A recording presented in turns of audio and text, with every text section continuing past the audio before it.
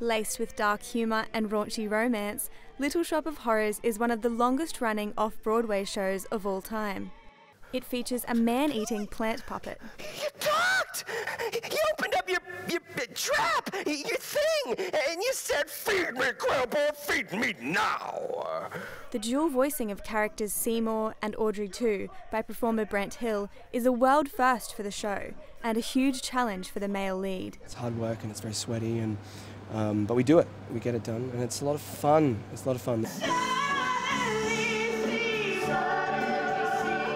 Playing Audrey is Esther Hannaford, who starred in Hairspray, Mamma Mia, and King Kong.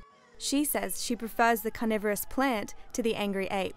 So he was a pretty big puppet, so this one's a little bit easier to work with, probably. The show, by director Dean Bryant, boasts original music and an all Australian cast.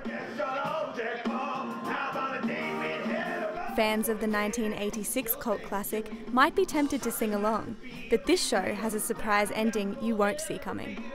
Little Shop of Horrors heads to Sydney next for an encore season before finishing up in Perth. Julia Wighton, QUT News.